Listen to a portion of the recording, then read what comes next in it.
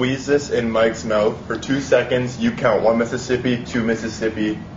Then Mike has to finish whatever's in his mouth. All right. And if he doesn't, he does not get the ten dollars. And you give me ten bucks when you get it. You owe it to me, like. You, I'll, I will give you the ten dollars. all right. Put it here. Open your mouth. I'm not gonna choke you. Put your Okay, ready? put it back more, more, more. Three, two, one, go. Oh shit!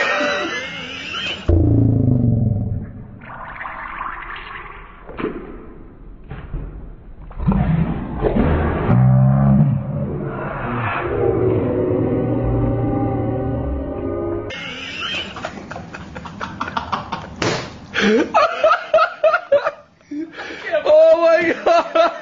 I cannot believe you fucking did that.